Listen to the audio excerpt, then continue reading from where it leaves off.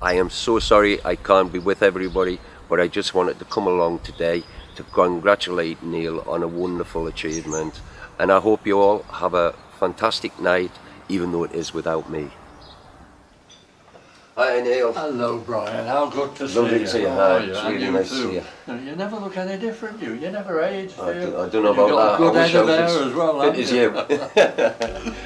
well, Neil, I'm sorry that I'm not going to be able to be with you on, on the evening of the uh, of the awards ceremony. Um, I just think it's a fantastic achievement from you, and congratulations. But to win the lifetime achievement um, is is remarkable, but fully deserved out of all the hard work that you've always done over the years. And that's why I've come along today just to congratulate you and thank you very much for all the efforts you put in for all the people of Manchester. And that